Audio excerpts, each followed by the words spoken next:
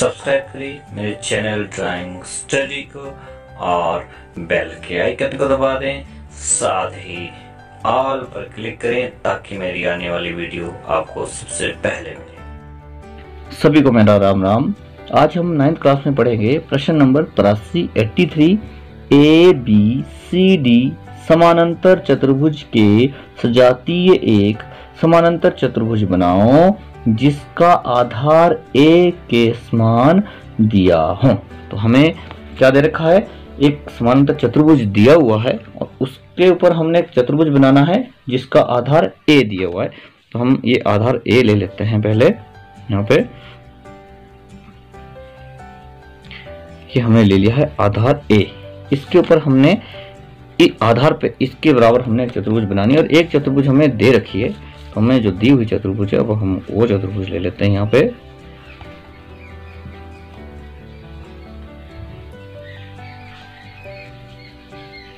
ये हमें दी हुई चतुर्भुज है, इसका नाम है ए और बी। और हमें जो दे रखी है चतुर्भुज, ये हमें आइडिया से हमने अपनी बनानी है, इस तरह से। और जितनी ये दो भुजाएँ हमने ले ली है, इसी के हिसाब से हमने आगे भुजाएँ लेनी है, जैसे ये इतना है। तो हमने यहाँ पे डॉटेड हम चाप लगा देते हैं यहाँ पे, इस तरह से, और हमने थोड़ी आगे तक ये आई थिंक चाप आएगी मेरी, इस तरह से। और जितना हमारा ये आधार है, ये है, इतनी हमने यहाँ से, ये आपका पॉइंट है, इस पॉइंट का नाम हम दे देते हैं सी और हमने सी पॉइंट पर का रखना है, और इस चाप को हमने यहाँ पे काट देना है। क्योंकि ये चाप नहीं दर्शाई गई है, ये है अपना डी तो ये हमने इसलिए लगाई है कि ताकि हमारी जो समानांतर चतुर्भुज है वो बिल्कुल समानांतर बने, आइडिया से ना बने। तो इस तरह से ये सी और डी को भी हम मिला देते हैं। इस तरह से ये हमारी दी हुई चतुर्भुज है। अभी हमारा इसमें कोई आंसर नहीं है। हमने क्या करना है? इस दी हुई चतुर्भुज पे हमने इतनी चतुर्भुज बनानी है जो इसका आधार ये रहता है।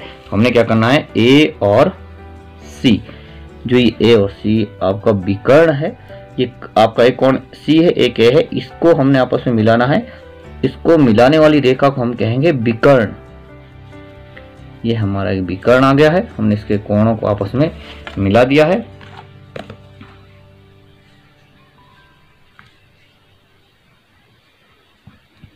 इस तरह से। और हमने क्या करना है? जितना आपका आधार दिया हुआ है ए ये आप देख सकते हैं। इतनी हमने प्रकार खोल ली है हमने खोल रखी है और ए से हमने जो है वो निशान लगा देना है यहाँ पे। इस तरह से जो ये हमारा निशान आ रहा है, ये नाम हमारा जाएगा ई हमने क्या करना है? जितना आपका बी सी है, ये आप देख सकते हैं बी सी है, इसके समानांतर हमने रेखा खींचनी है ई से। ये हमारी रेखा डार्क आ जाएगी इस तरह से। और ये जो पॉइंट आपका आ रहा है, ये हमारा पॉइंट आ जाएगा एफ़ अब हमने क्या करना है? जितना हमारा सी और डी है, ये आप देख सकते हैं। सी और डी के समानांतर हमने रेखा खींचनी है एफ़ से। ये आप देख सकते हैं, इस तरह से। ये जो हमारा पॉइंट आ गया, ये पॉइंट है जी हमने क्या करना है? जी और ए जो ये रेखा है, इसको हमने डार्क मिला देना है और ई e और ए को भी हमने डार्क मिला देना इस तरह से। ये जो आपकी चतुर्भुज बनी है, ए, ई, एफ़, जी, ये आपकी ए रेखा आधार के हिसाब से समानांतर चतुर्भुज बन गई है। ये आपका प्रश्न नंबर है 83 ये बन के कंप्लीट हो गया।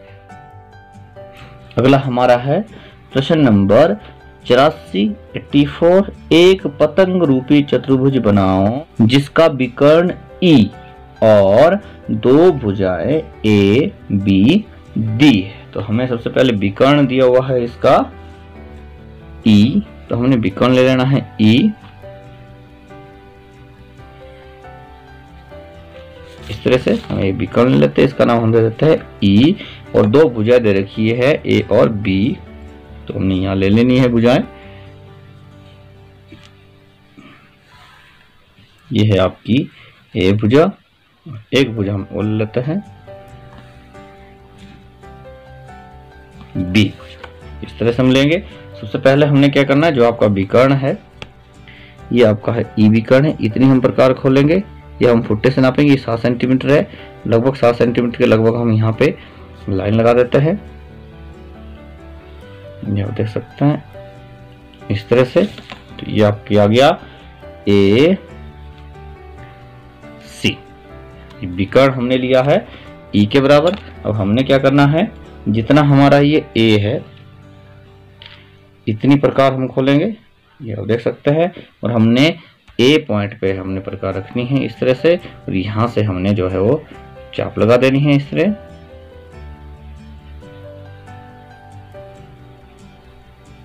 इस तरह से आप देख सकते हैं। अब हमने क्या करना है? जितना हमारा बी है, इतनी प्रकार खोल लेंगे। हम देख सकते हैं। और हमने सी पॉइंट पर प्रकार रखनी है। इस चाप को हमने काट देना है। इस तरह से। अभी जहाँ पे कट रहा है, वह हम नाम दे देते हैं। यहाँ पे जहाँ ये कट रहा है, ये पॉइंट हमारा है डी और यहाँ जहाँ कट रहा है, ये पॉइंट हमारा है बी हमने क्या करना है? ए और बी को आपस में मिला देना है डार्क इस तरह से और हमने बी और सी को भी हमने डार्क मिला देना है। इस तरह से और सी और डी इसको भी हमने डार्क मिला देना है। इस तरह से और डी और ए जो है, इसको भी हम मिला देंगे।